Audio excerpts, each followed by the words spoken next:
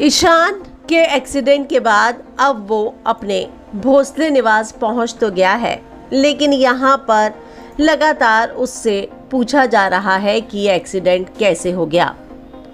वहीं अब भोसले परिवार को इस बात को लेकर पता चल गया है कि ईशान की मुलाकात ईशा से हुई थी, और खुद ईशान भी ये बताते हुए नज़र आया कि हाँ वो अपनी आई ईशा से मिला था। लेकिन यहाँ पर क्यों हर कोई नहीं चाहता कि ईशान और ईशा की कभी मुलाकात हो? और यही बात अब ईशान अपने परिवार से जानना चाहेगा।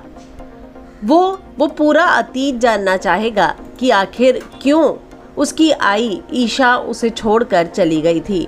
आखिर क्यों ईशा का नाम सुनते साथ जो है, घर में सभी एकदम चुप हो जाते हैं, क्योंकि ईशान अब और ज़्यादा बर्दाश्त नहीं कर पा रहा।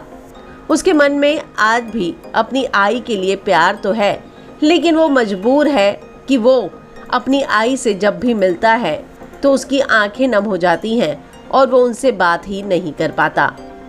ऐसा क्या हुआ था अतीत में? अब ये ईशान जो है जानना चाहेगा।